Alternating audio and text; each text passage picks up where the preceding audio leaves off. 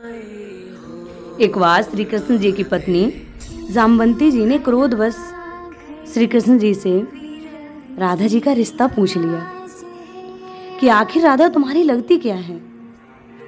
तो श्री कृष्ण जी ने भाव विमुख होकर कुछ यूँ कहा, राधा कृष्ण का प्रेम प्रेम का परिशुद्ध भाव है। ये वो प्रेम है जो संसार के समस्त बंधनों से मुक्त है।